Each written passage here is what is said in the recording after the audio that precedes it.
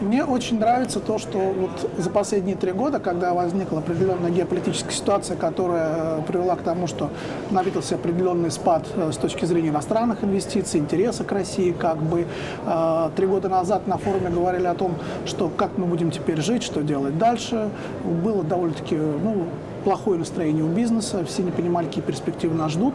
В следующем году уже настроение было получше, а сейчас мы уже вышли на качественный новый диалог. Мы говорим о том, что мы сейчас будем работать, мы продолжаем работать в России. Иностранные инвесторы приезжают сюда. Пример тому это рост количества международных участников на форуме.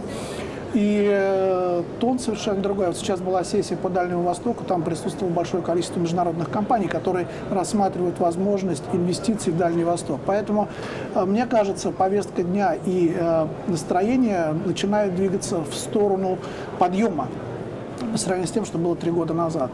А, повестка правильная, повестка соответствует э, ожиданиям бизнеса, ожиданиям, я думаю, государства тоже.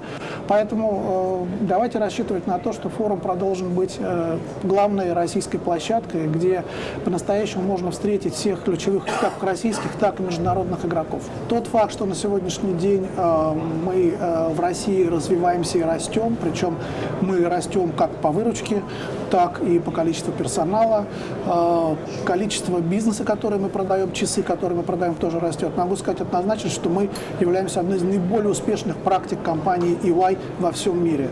И э, тот отрыв, который есть у нас от наших конкурентов, тому хорошее подтверждение.